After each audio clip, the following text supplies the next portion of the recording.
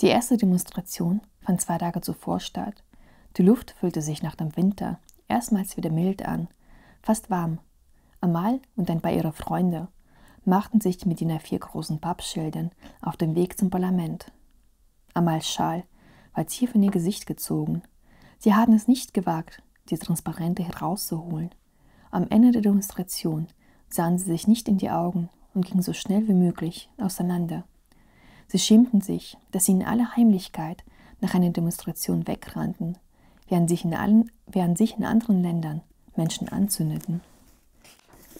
In den ersten Tagen der Revolution dachten die Optimisten, dass die internationalen Medien und Al Jazeera über die Demonstrationen berichten würden.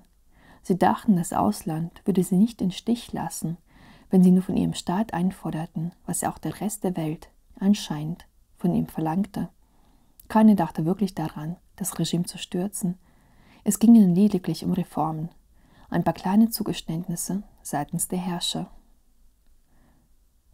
Die Menschen hatten es nämlich satt. Amal hatte es satt, ihr Bruder hatte es satt, ihre Freunde, ihre Kommilitonen, Bekannte, Fremde auf den Straßen. Die ganze vulgäre Bohem hatte es satt.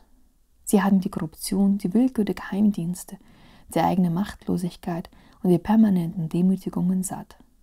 Sie hatten es satt, dass alle öffentlichen Bibliotheken, Flughäfen, Stadien, Universitäten, Parks und sogar Kindergärten nach den Assads benannt waren. Sie hatten es satt, dass ihre Väter, Brüder und Onkel in Gefängnissen saßen. Sie hatten es satt, dass die ganze Familie zusammenliegen musste, um die Söhne von ihren Armeedienst freizukaufen, während im Kabelfernsehen die nordamerikanischen Teenager Autos geschenkt bekamen und um die Welt reisten. Sie hatten es satt, jeden Morgen in der Schule Assad bis in alle Ewigkeit aufzusagen und zu schwören, dass sie alle Amerikaner, Zionisten und Imperialisten bekämpfen würden.